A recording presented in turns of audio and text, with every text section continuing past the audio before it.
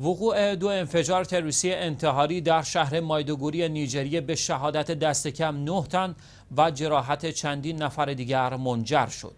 به گزارش رویترز به نقل از شاهدان عینی حمله اول در دقایق اولیه صبح و در مقابل اردوگاه آوارگان منطقه باکاسی رخ داد و دقایقی بعد انفجار دوم در یک ایستگاه اتوبوس به وقوع پیوست.